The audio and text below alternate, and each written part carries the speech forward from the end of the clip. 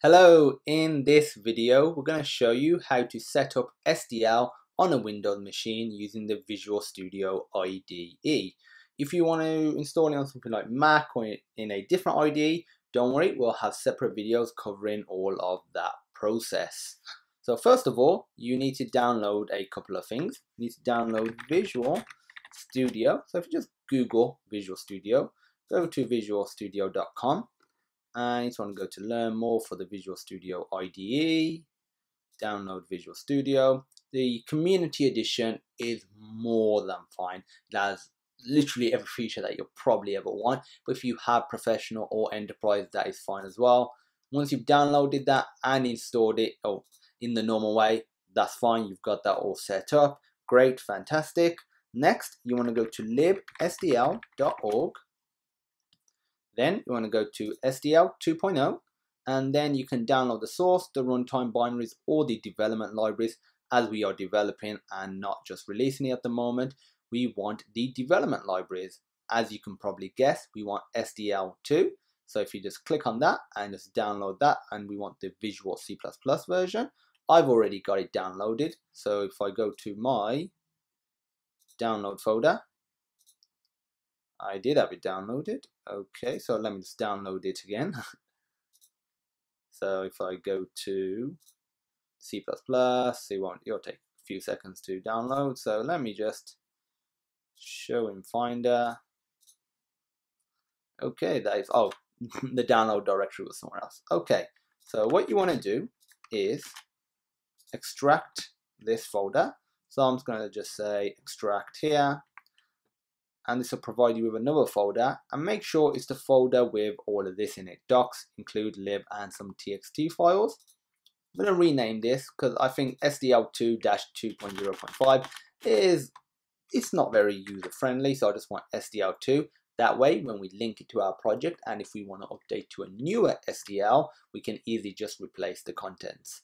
If you go to local disk C or what we want to do now is actually put it somewhere almost a safekeeping because we're going to link our project to it. And if you have several projects, they'll be linking to that one SDL folder. The benefit of doing it this way and not having, let's say, SDL in each one of your projects, like a new copy of it, is it saves space. And that is, well, very important. So I like to create a folder in my local disk C called development.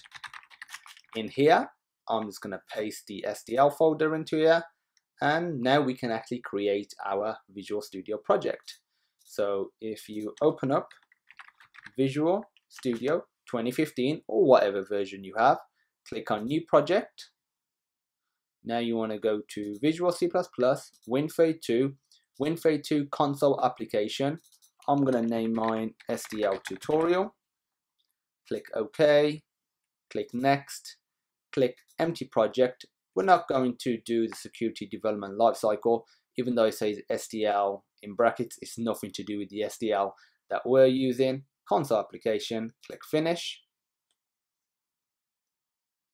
And before we can start coding our awesome SDL project, you just need to add a file and set up your project. So go add, new item, CPP file, and I'm just going to name it main.cpp. This is the main entry point.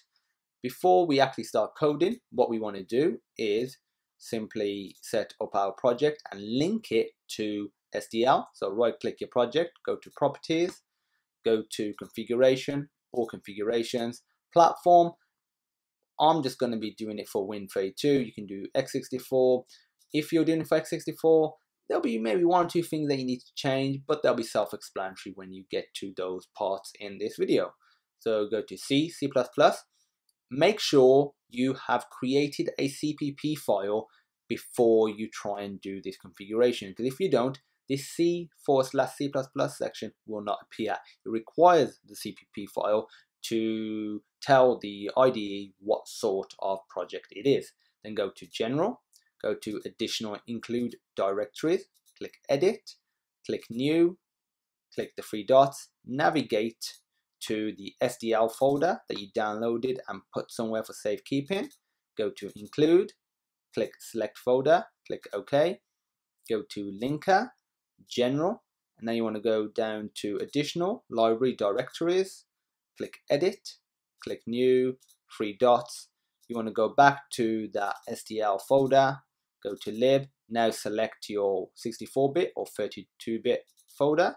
I'm doing 32-bit obviously because like I said I'm using 32-bit but if you want to use 64-bit you just well use the 64-bit folder. Click select folder click OK go to input go to additional dependencies edit and you need to add sdl2.lib and sdl2 main.lib click OK apply OK. There's one last thing that you need to do before we can start coding is go to the SDL folder that you downloaded. Go to lib go to well your project type, so 64 or 32-bit. Copy the .dll file, go to your project directory, go to where your CPP file is located, paste it there, and now we're ready to start coding. So let's code a simple SDL application. So hash include, we're going to put IO stream. We're going to use the input output stream to be able to print out some errors in case something goes wrong. I'm going to close that. We don't really need any of this anymore. So now we need hash include sdl.h. We need a main entry point, so int main. And for this, I'm going to put int argc, so this is going to be the argument count. char asterisk argv. This is just required for SDL, so just have it in there. You don't need to really do anything with it. Now we just need to initialize SDL. So if SDL underscore init, you want to use this one, which is a method, and it requires a parameter, which is what are you initializing. So you do SDL underscore init, and you can initialize audio, events. I'm going to keep it simple, initialize everything. If you know you only need a couple of things, you want to make it as streamlined as possible, then do that for your application. If this is less than zero, because errors will be negative, usually negative one, then something has gone wrong. So we would do std cout. We're going to print out SDL could not initialize SDL error. And now to print out the error, just do SDL underscore get error. And now we're simply going to do a end line like so and that is it. We just need to do a return statement. So return exit underscore success semicolon. And now we're ready to run our awesome SDL application. So click run.